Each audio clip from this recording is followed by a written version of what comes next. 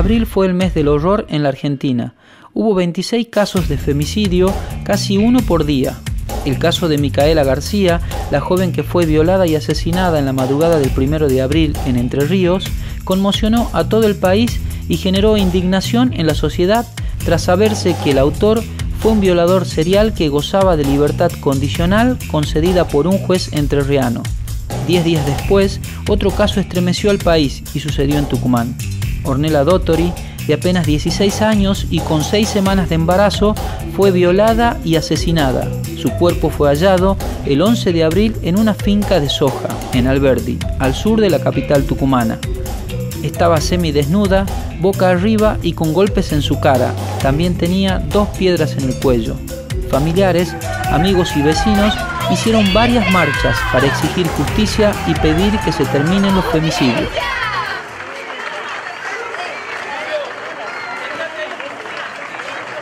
No nos queremos muertos, queremos vivir. Nos queremos vivas. Ni una menos. Viva no El Estado la abandonó, ella, porque hacía dos meses que ella se había escapado donde estaba mm, tratando de, de mejorarla. Más que nada era una niña rebelde, porque nosotros ayer hemos estado con la tía y era una chiquita muy rebelde, o sea, su espíritu era rebelde. Entonces se ha escapado de Salta, se ha venido a Tucumán. Después se ha ido a Alberdi, donde está su papá. Y después la han internado y de ahí se había escapado en el mes de enero, los primeros días. Nadie la reclamó.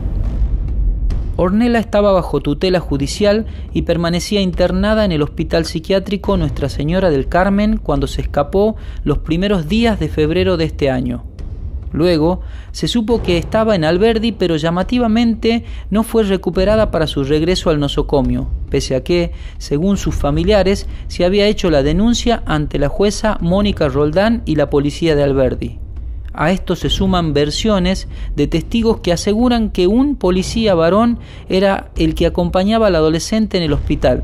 De hecho, una de las hipótesis de la justicia apunta a un policía que habría sido la pareja de Ornella, aunque hasta el momento no fue identificado ni llamado a declarar. Muy buena niña, era guerrera, era luchadora, era extrovertida, ella no le importaba nada. Era muy buena, e- era muy, este, buscaba afecto en todo momento, ella era muy cariñosa, te besaba, te abrazaba, era alegre. Eh, era la, una chica que andaba a las apuradas, era, ya nomás iba, venía, era una, no se quedaba quieta, era, le gustaba la calle, le gustaba andarse, buscar amigos. Y bueno, la gente se ha confundido y le han, le han matado, no sé qué habrá pasado. Vos que la conocías, ¿qué puede haber sucedido? ¿Cómo era su entorno? Y su entorno quizá era el mismo que el mío, porque vivimos en- casi en el mismo ambiente, o sea, nada malo. Pero muchas veces los hombres confunden las cosas, no sé qué habrá pasado sinceramente. No, no puedo explicar qué se le puede haber cruzado por la cabeza a la persona que le haya hecho eso. No me explico. No, no, no entiendo. Yo en mi persona no existe, no sé, no entiendo. ¿Te enteraste cuando ella quedó embarazada? Sí, ¿Qué dijo? Estaba contenta, muy contenta. Sí. Muy contenta que iba a ser madre. Cada momento publicaba ella cosas del embarazo, que comía, este, chocolate, mu- muchas cosas publicaba ella en todo momento. Este, quién iba a ser la madrina, en uno de esos estaba yo en esas posibilidades. Chateábamos también por privado. Muchas cosas, muchas cosas que... Ella hablaba de una supuesta relación con un policía. Sí, es verdad. Ella en todo momento dejaba en claro que el padre de la criatura era un policía. Más allá de quién puede haber sido, yo nunca me doy tipo de información, pero ella sí decía que era un policía. Yo, yo insisto que comiencen con la policía de Alberdi. Yo, ¿Por qué cree eso usted? porque fui escuchando, fui viendo, no sé. la paternidad presunta de un policía sí te lo puedo garantizar, porque han sido mensajes de que ella le mandó a, la, a, a su tía, la que te dio mi teléfono, Sí, sí. eh, como diciéndole, hola tía, mira, te cuento, estoy recontenta, estoy embarazada, y ella le pregunta si, si es que era de un policía, y le dijo que sí, y que tiene 24 años. Ese mensaje de texto se ha imprimido en captura de pantalla y fue agregado. ¿Usted pudo averiguar o averiguó la fuerza policial si, que Or- si es que Ornella tenía efectivamente alguna relación con un efectivo policial?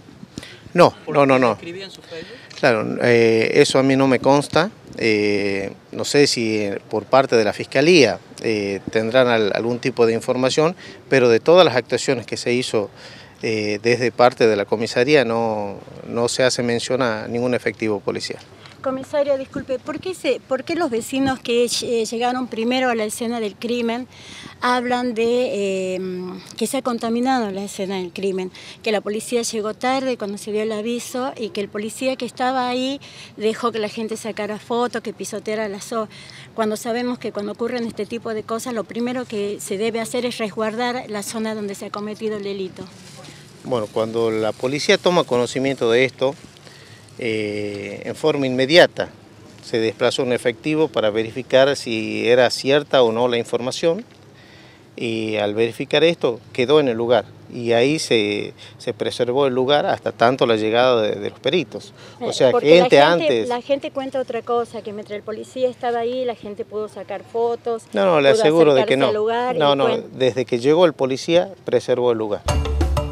La principal hipótesis del fiscal Miguel Varela está basada en las declaraciones de una testigo que dijo haber visto a Ornella el lunes 10 de abril por las calles de Alberdi acompañada por un joven apodado Pomelo. Al transcurrir las horas, apareció un video donde se ve al adolescente junto a otro joven que luego fue identificado como perrito carretero, hoy el principal sospechoso en la causa. Su situación procesal se complicó más en los últimos días tras hallarse ropa con manchas de sangre durante un allanamiento que se realizó en la casa de su hermano donde se habría escondido mientras era buscado por la policía. En su declaración ampliada, la testigo dijo haber visto cuando Ornella fue abusada por cuatro jóvenes y en particular señaló a Carretero como autor del crimen. Además de Gustavo Carretero, quedaron detenidos Damián Fernández alias Pomelo, Javier Gramajo alias Cabrera y José Victoria alias Bomba. El portal del interior bajo la lupa noticias.com.ar dio a conocer las imágenes de los cuatro sospechosos. En los últimos días, el fiscal Miguel Varela pidió la prisión preventiva para los cuatro imputados ante el juez José Acosta, quien deberá resolver si siguen o no detenidos. Mientras tanto, se esperan los resultados de las pruebas toxicológicas y de ADN, que serán claves para determinar la supuesta participación de los detenidos en el brutal crimen. El caso generó una gran conmoción en la provincia y todo el país. Familiares, amigos y vecinos realizaron varias marchas en simultáneo en Salta, capital de Tucumán y Alberdi para exigir justicia.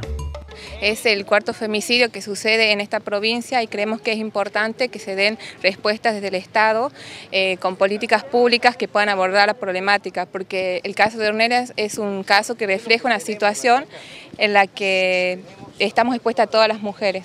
La verdad que estamos todos conmocionados, muy doloridos por esta situación, que conocíamos a Ornella, eh, yo la conocí hace aproximadamente un año, cuando ella estaba internada en el hospital de acá de Alberdi y era una niña muy dulce, muy buena, eh, muy solidaria y nos preocupa muchísimo todo esto. Jamás en Ciudad Alberdi se vivió este tipo de circunstancias, jamás tuvimos un asesinato en esta, en esta comunidad de esa índole. Así que bueno, como mujer, como madre, muy preocupada, como ciudadana de este pueblo también muy preocupadísima por esto que estamos pasando. ¿Vecina de acá de Alberdi? Sí, sí, soy vecina de acá de la zona, le he conocido a Ornella, una excelente persona. Bueno, nos duele mucho como madre, como hermana, como hija, que justamente a nosotros nos haya ocurrido una cosa así. Queremos que, queremos que caigan los culpables, el culpable. Eh, esto no puede quedar impune. Como sociedad merecemos una explicación y que esto no vuelva a suceder nunca más. Este, tenemos hija, sobrina y bueno, no queremos que pase más esto. O sea, primera vez que pasa esto en Alberdi. Este, bueno, no sé, estamos acá apoyando la marcha. ¿Qué creen ustedes que puede haber sucedido, ya que en la investigación se nombra a una persona, ahora se, nombra también a la policía? Y bueno, eso ya tienen que determinar ellos, la justicia, o sea, nosotros no, no, somos, no somos nadie para juzgar a nadie, pero nosotros estamos esperando que se haga justicia por la muerte de esta chica. ¿Creen que como va la investigación se podría llegar a la verdad? Y esperemos que sí. Estamos esperando que sí. ¿Confían en la justicia? Sí, queremos confiar. porque ¿en quién más vamos a confiar si no es en la justicia? El caso de Ornella desnudó graves falencias en torno a su protección desde el plano familiar, social y del Estado, ya que a pesar de tener una tutela judicial estuvo prácticamente abandonada, con seis semanas de embarazo y en un estado de extrema vulnerabilidad. En vez de ser protegida, fue brutalmente asesinada y no se descarta que también haya sido víctima de un posible delito de estupro. De Ornella, ¿qué se sabe? ¿Qué, vemos de los medios? De una joven de 15 años asesinada y violada de la peor manera en Alberdi, que era drogadicta, que estaba sola, que no se dejaba atender, que se escapaba, en vez de pensar qué tiene que ver eso con su asesinato. ¿Quién le ayudó a Ornella a que esto no pase?